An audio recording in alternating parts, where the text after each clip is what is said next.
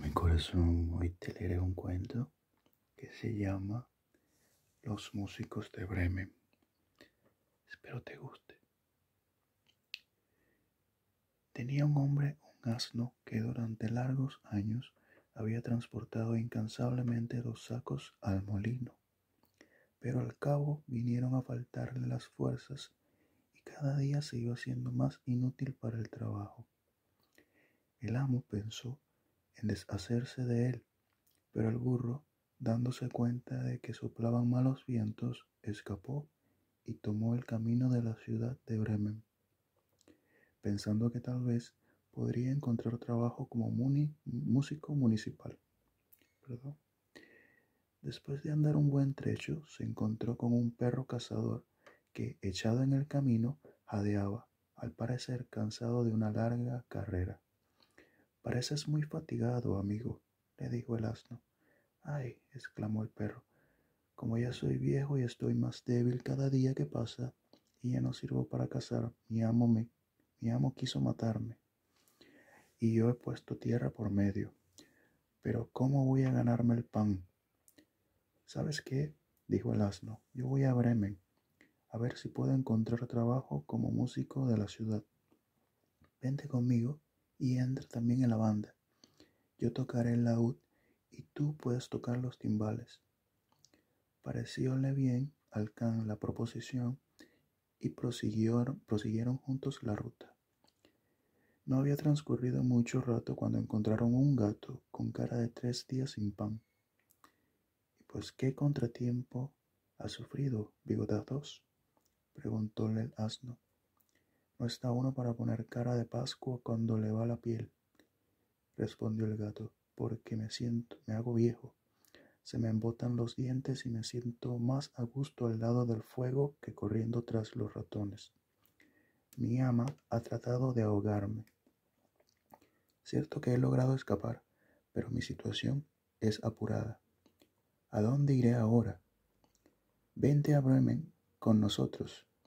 Eres un perito Eres un perito en música nocturna y podrás entrar también en la banda.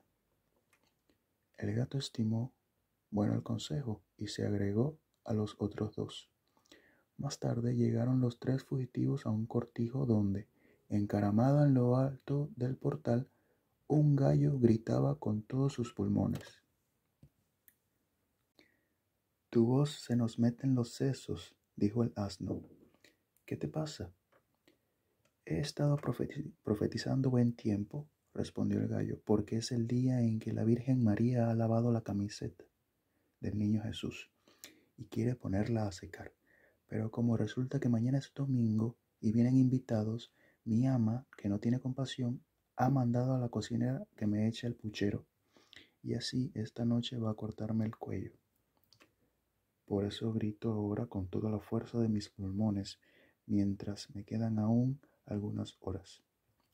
Bah, cresta roja, dijo el, el asno, mejor harás viniéndote con nosotros. Mira, nos vamos a Bremen. Algo mejor que la muerte en cualquier parte lo encontrarás. Tienes buena voz y si todos juntamos, juntos armamos una banda, ya saldremos del apuro. Al gallo le pareció interesante la oferta y los cuatro emprendieron el camino de Bremen. Pero no pudieron llegar a la ciudad aquel mismo día, y al anochecer resolvieron pasar la noche en un bosque que encontraron. El asno y el perro se tendieron bajo un alto árbol.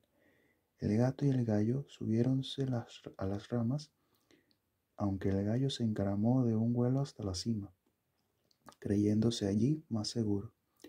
Antes de dormirse, echó una mirada a los cuatro vientos y en la lejanía divisó una chispa de luz, por lo que gritó a sus compañeros que no muy lejos debía de haber una casa. Dijo entonces el asno, mejor será que levantemos el campamento y vayamos a verlo, pues aquí estamos muy mal alojados. Pensó el perro que unos huesos y un poquitín de carne no vendrían mal, y así se pusieron todos en camino en dirección de la luz. Esta iba aumentando en claridad a medida que se acercaban, hasta que ya llegaron a una guarida de ladrones, profusamente iluminada. El asno, que era el mayor, acercóse a la ventana para echar un vistazo al interior. ¿Qué ves, Rucio? preguntó el gallo. ¿Qué veo? replicó el asno, pues una mesa puesta con comida y bebida, y unos bandidos que se están dando el gran atracón, también como nos vendría a nosotros, dijo el gallo. Y tú que lo digas, dijo el asno. ¿Quién pudiera estar allí? Los animales deliberaron entonces acerca de la manera de expulsar a los bandoleros y al fin dieron con una solución. El asno se colocó con las patas delanteras sobre la mesa, el perro montó sobre la espalda del asno, el gato trepó sobre el perro y finalmente el gallo se subió de un vuelo sobre la cabeza del gato. Colocados ya a una, ya a una señal convenida, prorrumpieron a la una en su horrísona música. El asno rebuznando, el perro ladrando, el gato maullando, el gallo, y, el, y cantando el gallo. y acto seguido se precipitaron por la ventana al interior de la sala, con un gran estrépito de cristales. Se levantaron de un salto los bandidos ante aquel estruendo, pensando que tal vez se trataría de algún fantasma, y presa de espanto tomaron los de Viedi, se fueron al bosque. Los cuatro socios se sentaron a la mesa y con las sombras de, de sus antecesores, las obras, perdón, sus antecesores se hartaron como si les esperasen cuatro semanas de ayuno. Cuando los cuatro músicos hubieran terminado el banquete, apagaron la luz y se buscaron cada uno una ya, yacía apropiada a su naturaleza y gusto. El asno se echó sobre el estiércol, el perro detrás de la puerta, el gato sobre las cenizas calientes del hogar, y el gallo se posó en una viga. Como todos estaban rendidos en su larga, de su larga caminata, no tardaron en dormirse.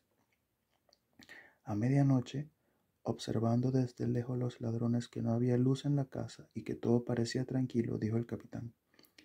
No debíamos habernos asustado tan fácilmente, y envió a uno de los de la cuadrilla a explorar el terreno. El mensajero lo encontró todo quieto y silencioso, y entró en la cocina para encender la luz. Tomando los brillantes ojos del gato por brasas encendidas, aplicó a ellos un fósforo para que prendiese. Pero el gato no estaba para bromas y saltándole al rostro, se puso a soplarle y arañarle. Asustado el hombre echó a correr hacia la puerta trasera, pero el perro, que dormía allí, se levantó de un brinco y le hincó los dientes en la pierna. Cuando el bandolero, en su ida, atravesó la era por encima del, estier, del estercolero, el asno le propinó una, serie, una recia cos, mientras el gallo, despertado por todo aquel alboroto y ya muy animado, gritaba de su vida desde su viga, kikiriki. El ladrón, corriendo como alma que lleva el diablo, llegó hasta donde estaba el capitán y le dijo, uh, en la casa hay una horrible bruja que me ha soplado y arañado la cara con sus largas uñas, y en la puerta hay un hombre armado con un cuchillo que me lo ha clavado en la pierna. En la era, un monstruo negro que me ha aporreado con su enorme mazo. Y en la cima del tejado el juez venga a gritar, tráeme el bribón aquí. Menos mal que pude escapar. Los bandoleros ya no se atrevieron a volver a casa, y los músicos de Bremen se encontraron en ella tan a gusto que ya no la abandonaron. Y quien no quiera creerlo, que vaya a verlo. Besito, duerme rico. Dale like, suscríbete, comenta si quieres, que te gustaría para un próximo video.